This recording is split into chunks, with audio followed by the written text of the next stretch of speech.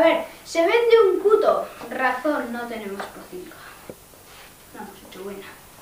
Bueno, si usted necesita una sierra, no sea tonto. Vaya a la carpintería Sánchez. Allá le, le dirán que vaya a la pajarería carpintería y le, darán, le entregarán un, un, pájaro carpintero, la mejor sierra que haya tenido en su vida. No se arrepentirá. No, Si usted quiere tener la ropa más limpia, compre sucio. Se quedará la ropa más sucia que antes. Corta, corta.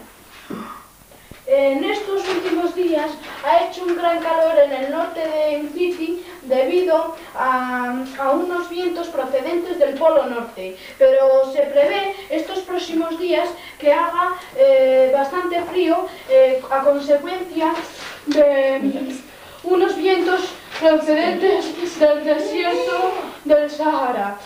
¡Un abrigo! Tenga, tenga, tenga Gracias. Gracias. Gracias. Gracias. Eh, y ahora una noticia de última hora que, a mí, que me ha enviado mi corresponsal en Filipinas, Alberto Tucamataco. En una, una, epidemia desconocida ha afectado en el oeste a muchos negros, cuyos chinos amarillos se han vuelto rojos los siberianos. Y como sigamos todos morados, pareceremos el arco iris. El arco iris, el arco iris. Hasta luego, mis televidentes. En la guerra de tomates del Líbano ha resultado tomateado Mohamed I y Secame después, el ministro del agua, al que por este fenómeno se le llama Orlando, tomate frito. Y hablando de tomates, el tomate starrus ha descendido en la competencia con el tomate Orlando, y todos los moros y, y africanos dicen, ¡compre tomate Orlando! Y ahora pasamos a unos minutos de publicidad. El mejor de los guerreros, Javier el Herrero, arregla su bicicleta como si fuesen furgonetas. Eh, si usted le quiere visitar, vaya al apartado 92 en un City, ya lo verá.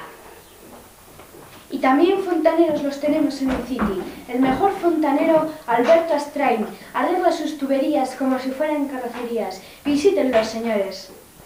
Y para terminar, una última noticia. Se ha, celebrado, se ha celebrado en Uncity el festival Uncity Miss y ahora vamos a entrevistar a la ganadora, doña Candelaria.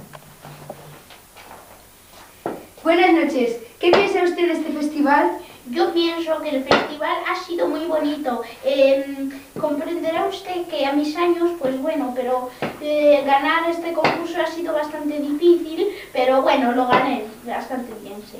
¿Cree que hay otras más guapas que usted? Oh, no, no, no, no, no, no, había otras más guapas, porque iban todas repintadas así, con cuatro garabatos en la cara y no, les quedaba muy mal, no, yo no iba a pintar ellas.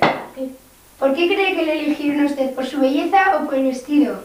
Pues mire, no sé, que pues el vestido era muy bonito, claro, como comprenderá, pero pues yo creo que por las dos cosas igualmente.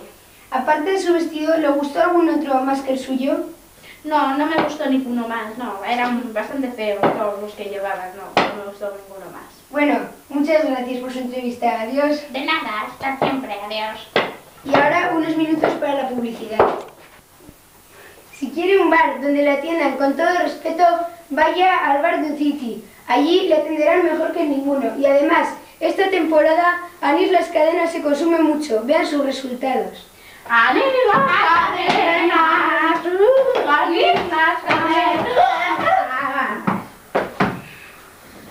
¿Hay Anís las cadenas? No, señora, está terminado. Pues, pues nos vamos. Y aquí se termina nuestro Teleuncity de hoy. Esperamos que les haya gustado.